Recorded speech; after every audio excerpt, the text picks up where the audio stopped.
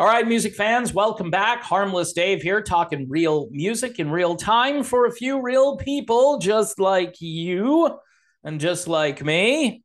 All right, before I get going on this video, Killer Kings, Burn for Love, one of my favorite albums of 2022, uh, featuring amazing music from start to finish. Um, I got to tell you, I wasn't really expecting all that much.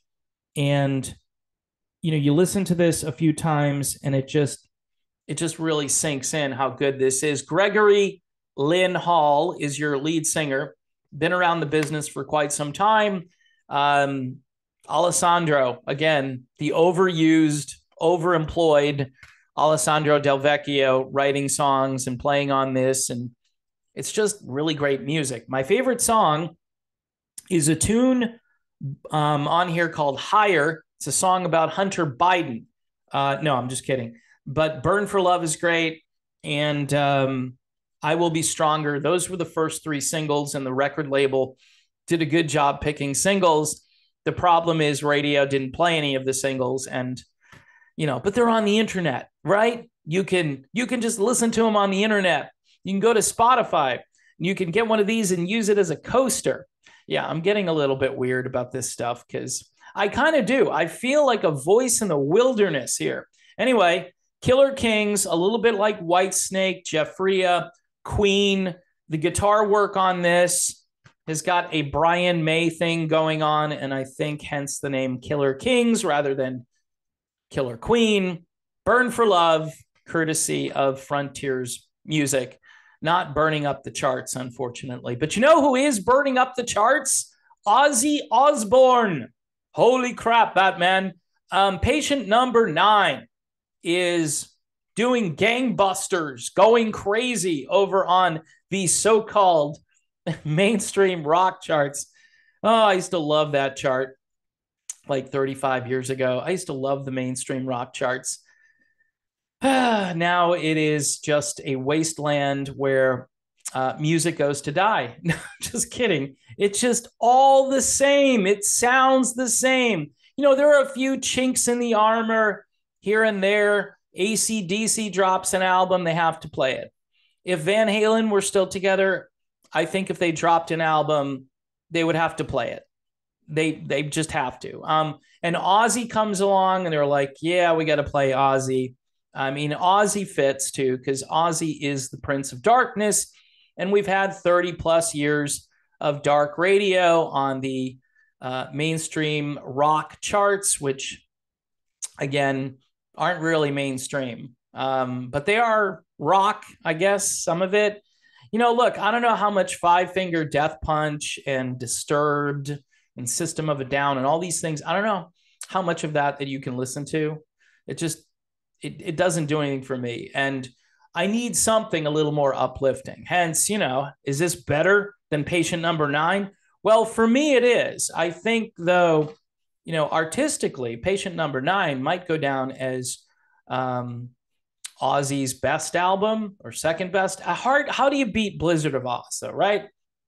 And by the way, nobody tops Randy Rhoads.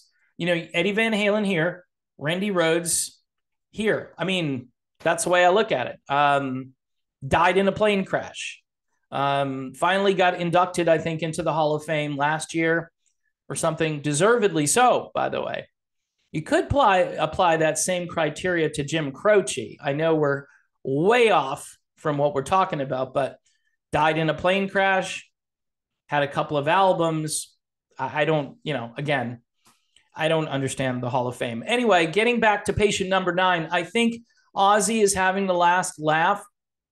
A guy into his 70s, um, well past his prime, but still creating some very interesting and dark music. Again, I do not like many of the themes on this album because it's the typical I'm the Prince of Darkness shtick. And uh, you see it in the videos, you hear it in the music.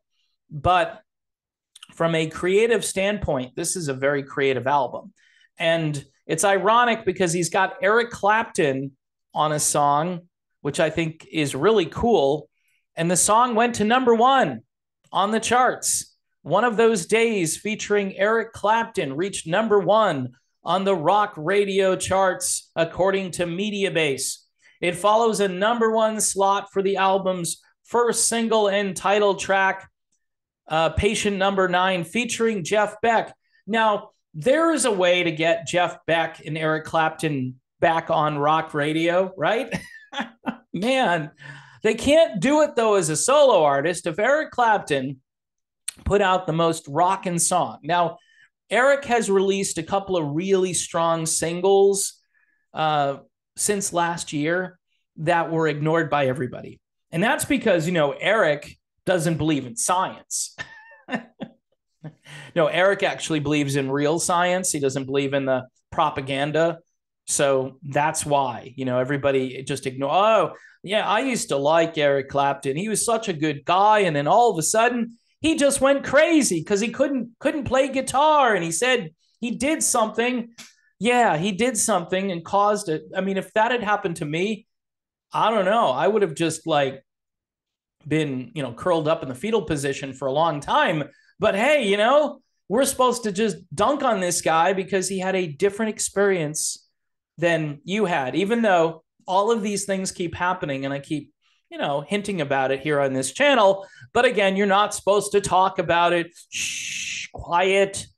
Censorship. It's coming. It's here, people. It's really sad because I'm into helping people and saving lives. I'm not into, you know, genocide. Okay. Just putting it out there. I'm just not into genocide. I know there are people that are. Now, Ozzy kind of sings about it, right? you know, you got to cut Ozzy a little bit of slack, though you know why? Because this is like a shtick. You know, this is his thing. You know, bite the head off of a bat. You know, look like I'm the craziest person, and the kids all love it. And now you got the adults loving it, and a whole new generation. Like, how many generations are there of Ozzy Osbourne fans going back to the Black Sabbath debut album?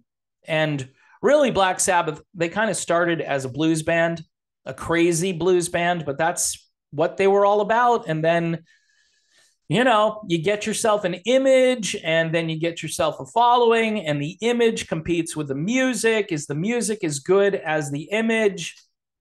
I don't know. Again, if you're a fan of those uh, first two Ozzy solo records, like I am, I'm a fan. And uh, a lot of it has to do with Randy Rhoads, but that material too is just really good, really well put together stuff, and um, was a part of a lot of teenagers' lives in those days. And, you know, hey, a lot of us could separate the darkness from reality and not buy into this stuff. And then Ozzy, a lot of times, uh, you know, got misinterpreted or misunderstood. People thought suicide solution was a song about committing suicide, and it wasn't. But yet, again, they were looking to hang anything they could on Ozzy Osbourne. This is one of those examples, though, is if you're kind of right on the edge of being kind of a dark, evil influence that a lot of people are going to think that you are, even if you're not.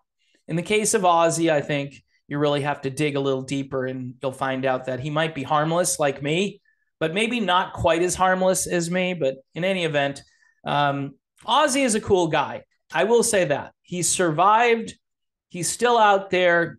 God bless him, literally, right? Even though I'm not sure he would want me to say that, I think he'd be all right with it. Who knows? I don't think he's that far away from understanding, you know, the truth. And I think he may already understand the truth, but who knows? I mean, you have to wonder about you know the personal lives a lot of a lot of these rock stars. And do they ever think about their own mortality and the importance of maybe you know getting themselves uh, squared away with god? I, I, I don't know. And and maybe they just think at this point i've already really screwed things up and maybe i shouldn't even try. But uh, i believe there's hope for even ozzy osbourne there's hope for anybody who wants it so in any event, folks, um, Ozzy just kicking the butt of all of those um, younger people out there. And when I say younger, a lot of these bands that have been on the charts have been there for like 20 or something years. So most of them are getting a little bit older, but they just put out an album and it automatically gets played on mainstream rock radio. Um, none of the older stuff gets on there. It's great that Jeff Beck and Eric Clapton are being heard again on mainstream rock radio. I guess that's one way to do it. All right. Uh, I am done with this video. Again, one more time Killer Kings, Burn for Love, really good. You get a song about Hunter Biden on here. It's uh, called Higher. It's really good. You check it out. I'm kidding. I'm kidding. Disclaimer. Someone will, uh, you know, wonder if Alessandro is writing political music or something, and he's not. He's really um, neutral, innocuous, doesn't go too far over the edge kind of songwriter, open for interpretation, which is always a great way to write songs. Anyway, folks, thanks for watching. It is December. So if you're in the giving spirit, I could use some help over on Patreon, a dollar a month, two bucks a month. It's been an interesting year for me and my family and a roller coaster ride in some ways here on this particular channel. Of course, I appreciate everybody who's over on Patreon, all the subscribers as we went over 63K, I think, uh, what, a couple of days ago, and somebody had pointed it out to me. I used to give these big announcements and you know, I think I'm jinxing myself if I say, hey, we just went over this amount. And then for about three weeks, I didn't get hardly any subscribers. So I appreciate those who continue to subscribe, tell your friends, share the videos, Patreon, plus there's a new membership button if you want to do it that way.